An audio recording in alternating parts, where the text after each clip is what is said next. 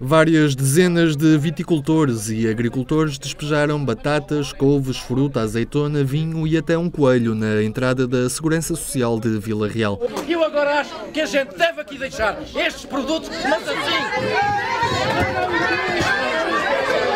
Isto não, isto não. O objetivo era pagar a prestação da Segurança Social em género, depois de verem vedada a sua entrada no edifício num protesto simbólico. O objetivo da concentração, marcada pela Associação dos Vitivinicultores Independentes do Douro, foi alertar para o elevado custo da Segurança Social e exigir a anulação das novas medidas fiscais para os pequenos e médios produtores. Nós não pedimos ao governo. Nós não estamos aqui a pedir ao governo nada, nós estamos aqui a exigir ao, ao governo que, sejam, que seja anulada estas novas regras fiscais para os pequenos e médios agricultores. Eu estou aqui para demonstrar ao, ao governo que aquilo que nos está a fazer que é um grande roubo.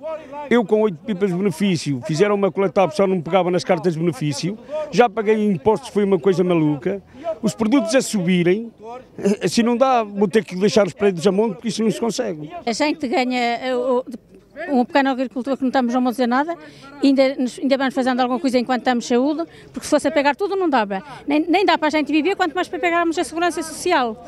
Porque a segurança social e estes impostos todos que nos estão a pôr, temos que deixar ir tudo a monte.